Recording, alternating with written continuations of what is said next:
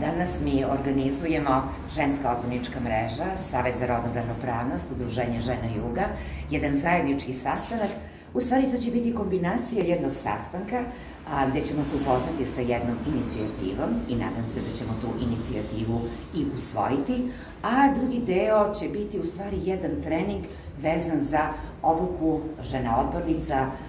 članova Saveta za rodnu ravnopravnost i svih koji danas budu prisutni na temu rodne ravnopravnosti. Zašto je ona važna i zašto je nama bitno da uključimo što veći broj žena u javni i politički život.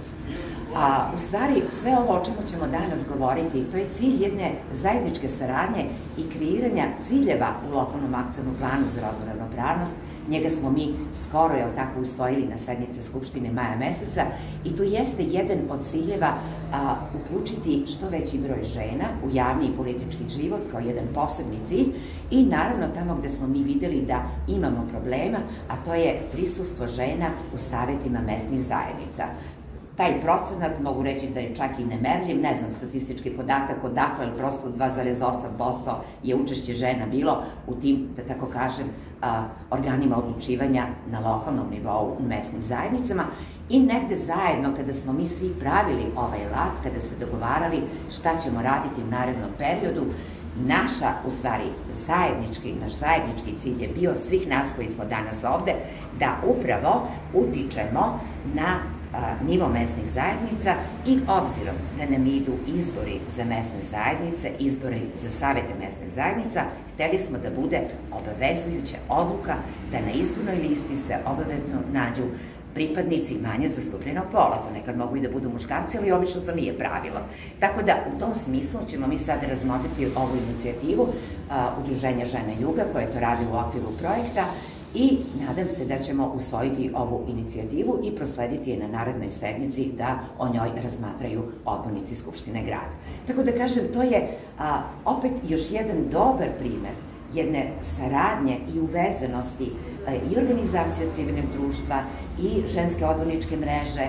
lokalne samouprave na kraju, Saveta za rodnu ravnopravnost, znači svih ovih mekanizama koje smo mi uspostavili i koji se bave, je tako, pitanjem rodne ravnopravnosti. O 56 odbornika u Skupštini grada, a 22 su osobe ženskog pola, to je negde oko 40%. Tu se poštuje ona, a, onaj zakon o lokalnoj samoupravi, član 40, gde i stoji, je tako, da najmanje 40% treba da bude pripadnika manje zastupljenog pola. I to smo mi sada hteli da spustimo na lokalni nivo, jer mesna sjednica je taj prvi nivo neke odlučivanja koje su, je tako, donese odluke koje su vrlo bitne za život tih ljudi koji žive u mesnim zajednicama. A, zatim, što se tiče a, a, u gradskoj upravi, a, načelnička mesta su otprilike u 50% slučajeva, znači da su žene. A, zatim a, predsednica Skupštine, a, zamjenica predsednice Skupštine je takođe žena, tako da nas ima dosta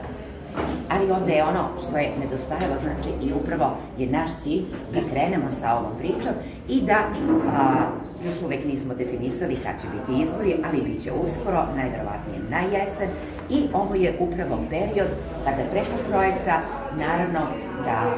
sami ljudi koji su angažovani preko projekta, ali da mi odbornice, članovi Saveta za rodnu ravnopravnost, praktično pomognemo i da obiđemo malo žene i da im kažemo zašto je važno da budu praktično za, zainteresovane i da one budu te koje,